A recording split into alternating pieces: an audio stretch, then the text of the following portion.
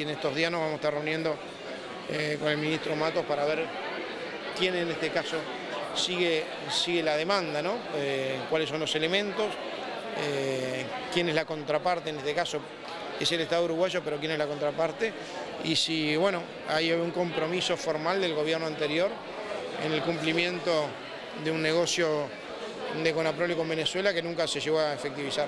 Se llevó el material, pero nunca vino, se llevó los insumos lácteos, se llevó los productos lácteos, pero nunca vino la plata. ¿Puede haber alguna responsabilidad judicial en los anteriores gobernantes, o sea, el gobierno de Tabaré Vázquez? Eso lo determinará la justicia. Vamos a ver cómo viene. Recién está empezando, es una demanda, hay que ver la demanda, hay que ver cuáles son los elementos.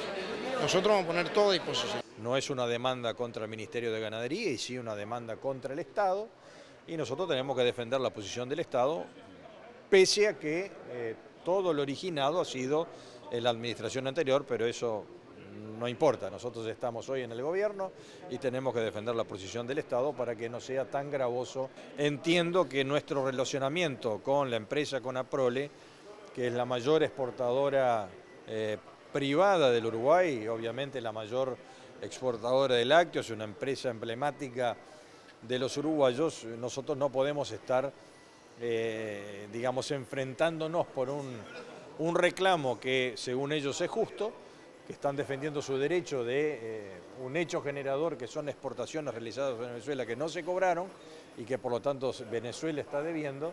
Este, entonces preferimos ahora, a partir de ahora, apartarnos del tema, pasarlo a jurídica de presidencia, porque nosotros tenemos que seguir relacionándonos como Ministerio de Ganadería con el sector lechero, donde Conaprole tiene una incidencia muy importante.